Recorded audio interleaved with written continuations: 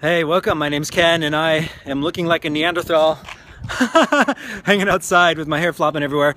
Um, just want to let you know that uh, I got a staff tutorial for you guys tonight.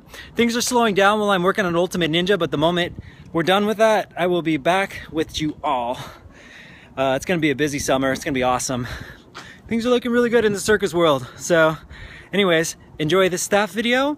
If you have any requests for other videos, poi videos, nunchuck videos, staff, double staff, or more, just holler. Even if I can't make it, I can find someone that can. All right, peace. Is you gotta know the pinwheel, both directions. Okay, once you cross the top of the pinwheel, we're just gonna turn 180 degrees and uh, we're gonna keep going with it. So if I'm passing it counterclockwise like this, I'm gonna turn 180 degrees and I'm gonna slash down and back up to my head. So here, turn 180 degrees, slash down. As I slash down, it's gonna go behind my back again, and we're gonna pull it back up. Now you'll notice we're in a reverse pinwheel. So let me start it off again. You're in a regular pinwheel.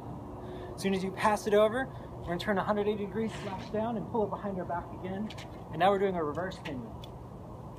Once we do the same thing, the moment we transfer it to the other hand, we're to slash it down under our feet and we're to turn 180 degrees and it's to be behind our head again.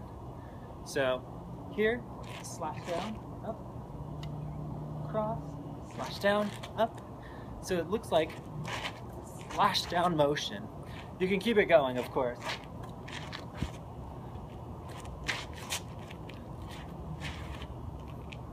Slash down and up, slash down and up. Again, once we cross it over, we turn 180 degrees, we slash it down to where it clears our back. What I mean by slashing it down too, it's not going straight down. You can tell, we're just doing a pinwheel. I'm turning 180 degrees and I'm slashing it to the point where it's behind my back and pulling it back up like I was doing the pinwheel again. The moment I transfer. The one thing you want to really get used to with a lot of these motions is, is almost like if you're doing a figure eight, but you're elongating your arms like this. So you want to be able to get used to like extending into the figure eight. Here, slash up, slash up. So this will help you when you're just doing your regular, what we were doing, uh, we're doing the box, which is here, to reverse figure eights, to pinwheels, to uh, front figure eights. This will kind of give us the, uh, the same idea, except for this time we'll be able to turn with it and rotate 180 degrees. Um, we can also do the same thing with behind the back passes too. So right now we've been passing over our head and spinning with it. You can also do it as we pass behind our back. Now this will go the exact opposite way as the other one, of course. So we're going here and we're slashing down. Uh, as we pass here, we're going to turn 180 degrees and slash up. And then as soon as we slash up, it's going to go behind our back and we're going to make our pass here. Turn 180 degrees, slash up, it goes behind your back. Here, here, here.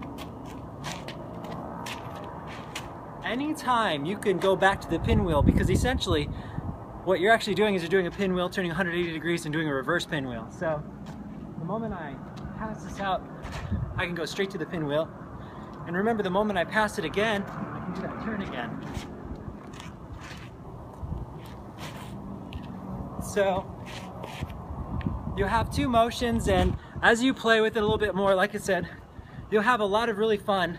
You'll have a fun time, just be like, whoa. you know what I mean. You have a lot of fun just spinning it around. And dropping it. Hopefully that helps.